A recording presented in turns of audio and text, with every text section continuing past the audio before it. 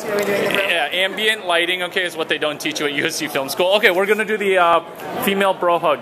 Female bro hug. Yeah, what's up? That's awesome. That's awesome.